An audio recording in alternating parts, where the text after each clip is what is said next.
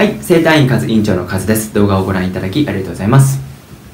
はい、本日もですね、腰痛でお悩みのあなたに腰痛改善のためのヒントだったり、アイデアをお伝えできればと思います。はい、ということでですね、えー木村先生、引き続きお願いします。はいお願いします木村先生ですね、前回の動画と引き続きっていう形になるんですけども、この動画2本目の動画になります。はいはい、前回の動画では何をお話ししていただいたかっていうと、まあ、ストレッチ効果っていうのは体感で決まるんですよっていうところでお話ししていただきました。前回の動画ですね、ご覧になられていないあなたは下にリンク貼っておきますので、まずそちらの動画をご覧になっていただいて、戻ってきていただければと思います。はい。まあ、今回はですね、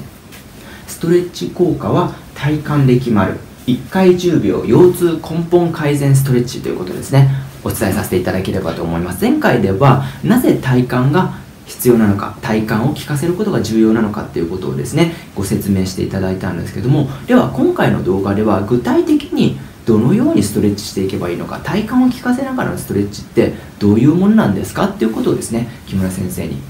教えていただければと思うんですけどもまずじゃあ体幹を効かせるっていうのはどのように効かせればいいんでしょうか、はい。えー、と体幹効かせるっていうのは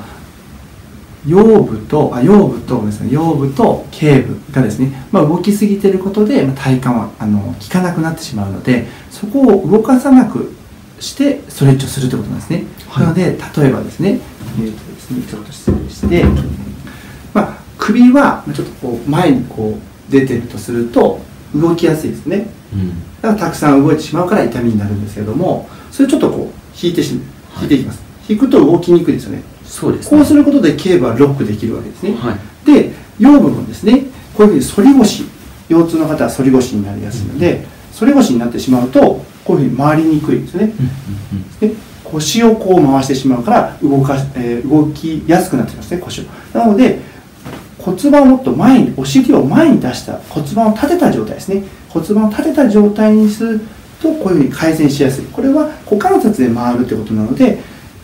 腰部がロックされて骨盤を立てた状態で体幹効くということなのでしっかり体が回るということですね。っていうことなのでこういうことが要は頸部と腰部の動きをロックしてストレッチするということが体幹を効かせるようなストレッチということなんですね。はい。OK です。要は普通にストレッチするんではなくて体幹を効かせなくちゃいけない。じゃあ体幹を効かせるっていうのは首と、まあ、腰ですね。腰をはい。動かさないようにストレッチをする。そのためには顎を引く。顎を引くっていうことと骨盤がいわゆる後ろにお尻が後ろに出てしまうことによって、まあ、腰が動きすぎてしまう状態になるので骨盤を立たした状態でお尻を締めた状態でストレッチすることによって腰が動かずに済む。そうです。で首と腰を動かないような状態でストレッチすることによって、まあ、本来の根本原因に対するストレッチができるっていうことになるということです。はいです。ではですねそのじゃあストレッチの方法ですね、はい。具体的にご説明していただけますでしょうか？はいわかりました。はい、じゃあですねちょっと切り替えたいと思います。はい。はい、ではですね木村先生体幹を効かせた腰痛の根本改善ストレッチの方法を教えていただけますでしょうか？はいわかりました。それでは3つお伝えします。場所はお尻とお腹周りの横ですね。と太ももになりますじゃあまずお尻の方からお伝えしていきますね。お尻を伸ばしたい時は足をこういうふうに4の字に組んでいただいてで体を前に倒していきます。で前に倒す時に骨盤が後ろに倒れて顎が上がってる状態で前に倒してしまうと腰がたくさん動いてしまって腰痛が悪化します。なのでどうすればいいかというと骨盤を起こして顎を少し引いた状態にして体を前に倒していきます。この状態で10秒やっていきます、はい、で少し顎を引きますね。こんな感じです、はい、それでは2つ目。今度お腹周りのこの横ですね。横を伸ばしていきます。まず左の方を伸ばしたいんであれば左の手を上げていただいてで反対の右側の骨盤を押していきます。でこういうふうにぐーっと伸ばしたい方向にですねこう骨盤を押していきます。そうすることでこの横腹がすごくストレッチされますね。でもこういう時でも骨盤が後ろに倒れて顎が上がってしまうとへにゃってなってしまうんですね。伸ばしたいところは伸ばされなくて腰がたくさん動いて腰痛が悪化していきます。なのでどうすればいいかっていうと骨盤をこの場合も起こします。で顎を少し引いて体幹を効かせるような状態にしてこういうふうに伸ばしていそうすると伸ばしたいところが伸びてここで10秒です。でこの時も呼吸を止めずに10秒数えてください。はい。では今度3つ目です。3つ目はこの太ももですね。太ももは正座をしていただきます。で正座をして、まあ、太ももが硬いとお膝も痛いのでこういうクッションみたいなですね。座布団でもいいので折っていただいてそれをお膝の間に挟むと正座しやすいです。でこの状態でお尻を上に伸ばしてですね上に上げてこう太ももを伸ばしていきたいんですけどもこの状態の時も骨盤が後ろに倒れて顎が上に上がってるとこういうふうに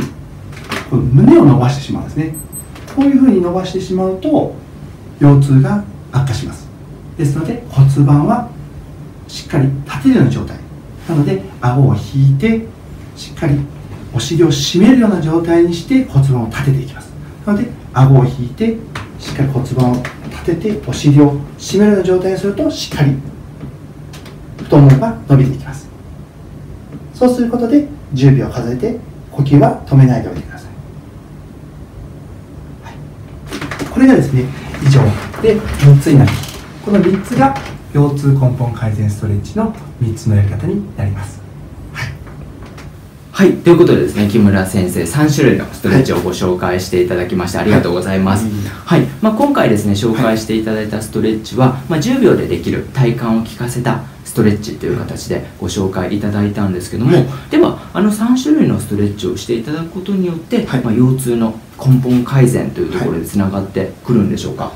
もちろんですねあの今回お伝えしたストレッチをですねやっていただいてもいいんですけども今回はあの座って行うストレッチなので当院ではですね座ってやるストレッチの前にそのレベルに合わせてですねそういったできない方っていうのは寝てやるストレッチとかも最初にお伝えしてそれで徐々に座ってできる今回のストレッチっていうのをお伝えしていきます。はい、はい、要は座った状態でできる人であればいいけど、まあ、座った状態でも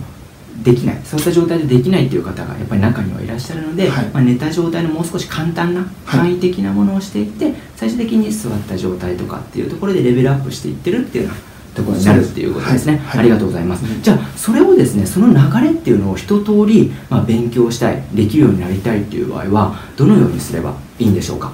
それをですね今回ですね動画にまとめさせていただいたので、はい、はい、この後ろに書いてあるです。ね、はい、ストレッチ効果は体幹で決まる1回10秒腰痛根本改善ストレッチっていうのを作らさせていただきましたのでこちらをご覧になられたらいいと思いますはい、はい、まあえっと、今回ですね木村先生に私からもお願いさせていただいて作っていただいたんですけども、はい、まあ、無料の動画講座っていう形になるっていうことなんですけども、はい、そのじゃあ今回あの紹介していただいたストレッチももちろんなんですけどもそれ以外にどのようなあの内容になっているんでしょうか？えーとですね、今回の内容も織り込んでますしまたそのさらに上ですねその予防的なところのストレッチっていうのもですねしっかりお伝えしているので、はい、そこをしっかり行えることができることで、まあ、腰痛がですねもうぶり返さないあぶり返さないですね腰痛が再発しないような体を作れるということとまず何よりですねその安全に腰痛が出ないようなストレッチができるということが最大のメリットかと思います、はい、そうですね。やっぱり木村先生にお伺いして一番こうそうだなと思ったのはやり方を間違ってしまうと腰痛が悪化してしまうっていうところが一番のポイントだと思うんですよ、はい、なので腰痛を悪化させないっていうこととプラスやはり腰痛を改善するストレッチっていうのが、まあ、一度にできるっていうのがこの体幹を効かせるストレッチっていうことになりますのでかつ今ご紹介していただいたストレッチの他にもう少し初歩的な寝た状態でできるストレッチさらにもっとこう上級レベルの痛みが取れた後も予防できるような内容のストレッチっていうのも、まあ、あの織り込んでいただいているということですのでもしご興味がある方はですね是非ご受講いただければと思います。期間的にどのくらいの期間の動画講座になるんでしょうか？約1週間です、はい、約1週間で今回の木村先生がご紹介いただいた内容が、まあ、無料で学べるっていうものにますね、はい、はい、なのでもしですねご希望がある方は下にですね申し込みのリンク貼らせていただきましたので説明欄の方に貼らせていただきましたのでぜひですねそちらからですねあのお申し込みいただければと思います。もう完全無料のですね動画講座になりますのでぜひですねはいご受講いただければと思います。ということで木村先生じゃあ最後にですね、はい、まああの腰痛でお悩みの方、はい、腰痛に対してストレッチをやっていって逆にこう悪化してしまったりとか、まあ、どういうふうにストレッチすればいいかわからないっていうふうに悩まれてる方に対してメッセージをお願いできますでしょうか？はい。えーとですね、ストレッチをやる方っていうのはあのとっても自分がこうやっぱり頑張ってらっしゃるんですね。その頑張りがやっぱりその痛みを伴うストレッチをやることでその諦めてしまう腰痛を治すことを諦めてしまうっていうのはとてももったいないことなんですなのでこの動画をですねしっかり見ていただいてで痛みをなくしてですねで原因があって症状があるのでその原因となるですねその腰の動動かす腰が動いてしまうような状況を作らないようにですね体幹を効かせたような効くようなストレッチをですねやっていただくことで必ずですね腰痛が改善できますので諦めずにですねこの動画を見ていただければと思います。はい、ありがとうございます、はい、そうですね。やっぱりその結果としては腰痛ではなくなぜ腰痛になってしまったのかっていうことを見ていただくことによって腰痛の根本改善というところにつながっていきますし、はい、さらに予防っていうところにつながっていきますのでぜひですね今回の木村先生がですね作っていただいた無料の動画講座受講いただければと思います。下にリンク貼っていきますのでご覧になっていただければと思います。はい。ではですね今回木村先生、はい、ありがとうございました、はい、ではですね動画をご覧いただきありがとうございました。ありがとうございます